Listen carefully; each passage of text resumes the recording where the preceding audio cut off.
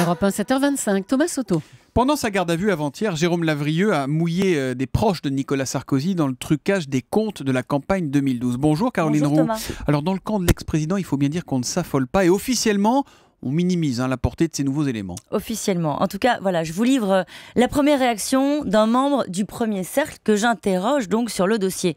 Et pourquoi pas un milliard? De dépassement pendant qu'on y est Peu importe, euh, Thomas, l'avalanche de déclarations, d'accusations qu'on lit chaque jour ici ou là, le camp Sarkozy se braque. Impossible d'imaginer une campagne qui dérape à hauteur de 17 millions.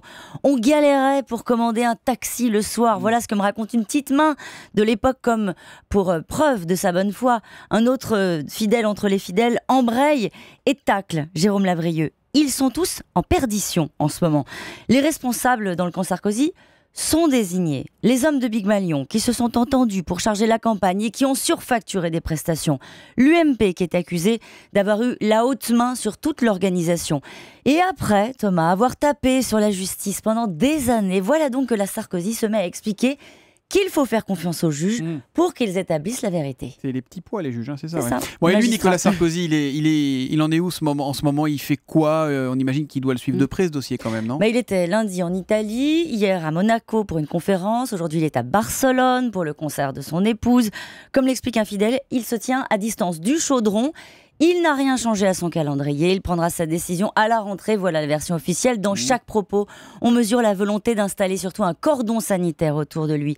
Et on entend des phrases assez surprenantes dans son entourage comme cette affaire ne le concerne pas, Nicolas Sarkozy n'est pas mis en cause personnellement et il ne le sera jamais. C'est d'ailleurs pour cela que, pour l'instant, euh, aucune offensive judiciaire n'est prévue. Ils attendent la prochaine étape, sans doute l'audition du directeur de campagne de Nicolas Sarkozy. Euh, Célie, ça va devenir compliqué son affaire de retour en, en sauveur de son camp quand même, non? Bah, son entourage se console en regardant, vous savez quoi, les sondages, comme d'habitude. Et le dernier sondage IFOP, toujours le meilleur dans son camp pour être candidat en 2017, plus 4 points pour Nicolas Sarkozy. Mais c'est un peu court.